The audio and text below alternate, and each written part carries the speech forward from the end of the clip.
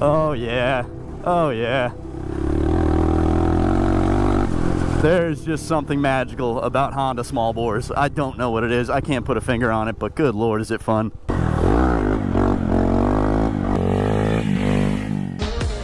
Hey, Downstater here. So today we are reviewing a bike that has been a long time coming. This is the Honda Monkey 125. There are few motorcycles in the world right now that have gotten me as excited as this bike has, and I'll get into exactly why. Starting in 2019, Honda really took it up another step and brought out this little pisser right here. A pudgy, retro mini bike built for a grown-ass man. Honda, I love you thank you for doing this because it is everything I thought it would be. Uh, it, it's fun, it's affordable, it's capable, uh, it's, it's cool looking, it's, ah, it makes me happy. There are few motorcycles that I look at these days and I'm like, oh, I need that. This is one of them. When it comes to our modern motorcycle offerings that are available in this country and others, to be honest, there are so many that are well outside of budgets, outside of, you know, uh, abilities, you know, um, features that you really don't need, performance most people don't need or want in some situations. And it's just a beautiful thing to see what Honda and some other manufacturers have started to do. They're bringing back the original small bore, do it all Japanese motorcycles. If you've been watching some of my videos, you'll probably know that my motorcycle career really kind of started a little under 30 years ago on bikes just like this. In fact, I have the original bike I started on, the Z50, uh, as a blueprint on my arm. You know, I, I love these bikes. These are, these are kind of near and dear to my heart. I can say that without a doubt, Honda has done a real service to not just myself, but motorcycles around the world uh, with bikes like this. These not only serve as basic transportation, but they've also basically aided thousands and millions of riders into the sport. I really have to credit Honda a lot for why I'm, at, I'm where I'm at and why I have the sport I love. The beautiful thing about this is that they are kind of bringing a renaissance for riders myself, like myself. Unfortunately, I'm one of the old guys now. I hate to say it, but it's true. Uh, I'm almost 40 and Honda was not stupid with what they're doing. They realized, oh crap, all those kids that started on Z50s, they're adults now, and they're probably gonna wanna hop back on something pretty similar to that bike. Well, that's basically what this is. It's a Honda Z50 with a plate for an adult, and it is a beautiful, beautiful thing. When it comes to smiles per mile, there really is no competitor to what a Honda small bore will do. I, I, cannot think of another motorcycle, maybe besides some of the mopeds, the Puchs, some of the earlier, you know, earlier mopeds from back in the day, who have provided cheap, efficient, fun, and, uh, and just pretty capable performance from such a small package. Um, and Honda was definitely the leader in the, the kind of small bore, shiftable, kind of mini uh, motorcycle segment. And I just, love the fact that they have really kind of made a rebirth with it and, and brought us a product that isn't just lipstick on a pig. They really kind of redid the whole thing, built a larger frame, better suspension, more capable, made it street legal, fuel injection, better brakes, the whole nine yards, so that 180 pound guy like me is perfectly at home on this motorcycle. Uh, do I look a little silly? Yeah. Do I care? No, not at all. It is so fun and such a good time. This bike is truly uh, a bike that can keep a lot of people happy for a very long time. Uh, and on top of that, you know, let's be honest, how cool is this thing? A retro mini Honda that's street legal and actually has the power and, and suspension to move a 180 pound American man or woman. I mean, that is a rare commodity in these days. You know, it's, it's you're either buying $15,000 ADV bikes, $20,000 sport bikes, or, you know, non-street legal dirt bikes. You know, th this is a, a, cool little commodity, and we're, I, I truly think we are lucky, uh, not just in this country, but in others who got this bike to have it. It's something Honda didn't need to do, but I also think, if I'm being really honest, Honda is seeing a huge boon to their their their sales with these bikes. That's why they came out with the CT125 this year. Uh, that's why they came out with a lot of the kind of new generations of the Grom um, and other companies have followed suit. They all see the writing on the wall with these minis. They're fun, they're capable, they're affordable, they look cool. I mean, they, they're just, it's such a great segment and I am really all on board at this point. You know, I'll be honest, I was a little hesitant at first. I was thinking, ah, you know, it's a 125. Uh, I'm a bigger guy. Um, you know, it's not going to be able to move. It's going to be really pokey and not fun to ride. Blah, blah, blah, blah, blah. I had all my misconceptions early on, like most of us do. But the reality is, after throwing a leg on the saddle and really getting some time on this bike, uh, I have absolutely 100% fallen in love. It's such a beautiful little ripper. Um, and, and so much so that for sure I can say that I will be getting either the uh, the CT125 or one of these monkeys within the next year or two. I can, I can say that without a doubt. Uh, it's that good of a bike. It's that fun. It's that enjoyable. Um, and it's, it's this is the kind of machine where you know, you could just, I could see myself just spending a, a kind of a ridiculous amount of time on this thing. You know, uh, I would definitely prefer, to be honest, to take this motorcycle to town to grab a coffee or get a haircut than my big adventure bike or obviously my dual sport. You know, why would I do that? This is a fun little pokey bike that you can do legally, safely, and just it's so fun. I can't stress that enough.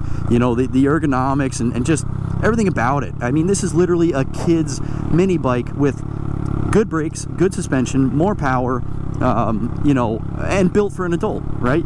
That is a beautiful thing. I mean, good Lord, Honda. I owe you a debt of gratitude because you have made my next favorite bike right here. Uh, I'm looking forward to the CT125 too. That should be hopefully coming soon in a review. That's, uh, that's definitely a goal here. So back in 2014, Honda blew myself and many other people away with a bike called the Honda Grom. It was a, a 125cc carbureted, kind of similar, a little pisser of a bike, right? It was uh, it was street legal. It had a bigger frame than the mini bikes of, of back in the day, and uh, it was built for adults to just go around and have fun on. Early on, it didn't sell insanely well, but it really started to gain momentum, and I think Honda really saw that market. Um, over the years, they have built that market to the point where there are other manufacturers, Taiwanese manufacturers, other other big, you know, Japanese manufacturers. Kawasaki's gotten in on it. I have a feeling Yamaha's going to get in on it pretty soon here. Uh, and, and others are really seeing the benefit of stepping away from scooters. You know, eh, they're not so fun, not too cool. And also stepping I guess down from you know the larger scale motorcycles to something that's a little more approachable and fun. Let's be honest. Uh, like I mentioned during the ride videos, I, I I'm more apt to ride a bike like this to go get a haircut than to hop on my big 1000cc Africa Twin. That's just honest truth. It's just more fun to do this for a little bebop around town than bring out my big adventure bike, right? Same thing goes with a dual sport. I'm not gonna chew up my knobby tires going to run errands or going to a restaurant with a friend uh, I'd rather take a bike like this that's really built for just kind of running around town. The cool thing about this, especially the, the Monkey, is that you can also strap this on the back of your camper and go explore the country with it. That is cool. It's very capable, not just on the road, but off the road as well. Weighing in at 220 pounds, offering a full 9.5 blistering horsepower, optional ABS, electric fuel injection, real suspension, and overall just a shrunk down real motorcycle frame. This bike offers a lot more than what you would call a retro mini as Honda likes to call it. It's truly a motorcycle just in a smaller frame. Um, and after really throwing a leg over it and putting down some miles both off-road and on-road, I can say that unequivocally, uh, I would ride this as a motorcycle, not as just kind of a toy or as a mini bike for instance. Um, now this bike in front of me was is a loaner from a friend. It does have a couple extra parts, so if you heard the exhaust while I was riding, yep, that's aftermarket. Suspension is a little stiffer. Um, it does have knobby tires, uh, pegs, and that's about it. The reality is this is about what you would get when you buy this machine, and I can tell you for sure, it's extremely comfortable, capable, both on-road and off-road. I definitely wouldn't put this bike on the highway. Uh, it, it simply cannot do the speeds you would need and it's a little too small to really handle that kind of wind buffeting and traffic and, and all that kind of stuff that goes on on a real highway. But a 50 mile an hour road, no problem at all. It's extremely stable. So don't, if you're, if you're in the market and you're kind of looking around and wondering what you want to do, uh, definitely don't hesitate uh, in terms of that. Um, if you're going to be riding, you know, mixed use roads like we have up here, uh, no problem. Again, very stable on dirt, very stable on gravel. No issue at all. Uh, if you're a van lifer, an RVer, um, somebody who is moving around the country, I can't think of a better bike to strap on the back of your rig than this guy right here. It's so capable, but it's still lightweight. It's still something you can spin around on a dime. You can throw it up on a hitch, uh, a hitch carrier without bending it. Um, and, and put a big rack on and go grab lunch in town. I mean, it's just, it's, it's such an ultimate motorcycle in so many ways. And I really can't stress enough, while, while it's very capable on-road, it's also a real hoot off-road. And you probably heard it in my voice when I was going around some of these turns, doing the little wheelie up the hill. It is just fun. It brings me back to my childhood, uh, but in a package that isn't just a toy. Again, it, it actually has a plate. It actually has the ability to serve more purpose than just putting a smile on my face. You know, I don't have the budget to just buy things that put smiles on my face. I need something that can actually serve other purposes, and this absolutely does. Uh, now, you're probably wondering, okay, it's all upsides. This thing's great, right? All, all, all downstaters saying that it's, it's good, good, good. Well, no, there are some downsides here. One, I mentioned earlier, it is fairly heavy for a smaller bike like this.